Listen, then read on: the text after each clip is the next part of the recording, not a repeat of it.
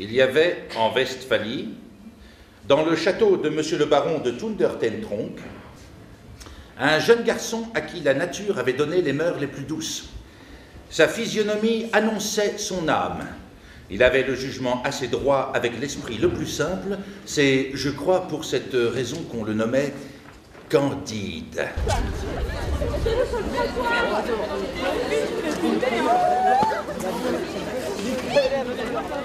Il était décidé par l'université de Coimbra que le spectacle de quelques personnes brûlées à petit feu en grande cérémonie est un secret infaillible pour empêcher la terre de trembler.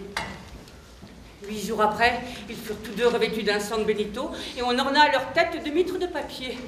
La mitre, le San Benito de Candide était peint de flammes renversées, le diable qui n'avait ni queue ni griffes. Mais les diables de Pangloss portaient griffes et queues et les flammes étaient droites.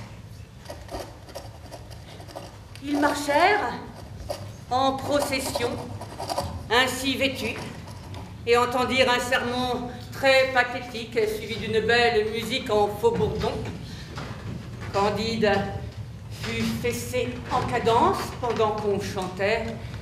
Deux hommes qui n'avaient point voulu manger de l'art furent brûlés, et Candide et Pangloss fut pendu. Sainte Vierge, s'écria-t-elle, qu'allons-nous devenir Une autre petite porte.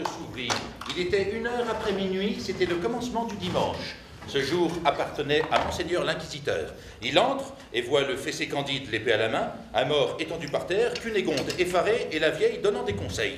Voici dans ce moment ce qui se passa dans l'âme de Candide et comment il raisonna. Ce raisonnement fut net et rapide, et sans donner le temps à l'inquisiteur de revenir de sa surprise, il le perce d'outre en outre et le jette à côté du juif. En voici bien d'une autre, dit Cunégonde. Comment avez-vous fait, vous qui êtes né si doux, pour tuer en deux minutes un juif et un prélat?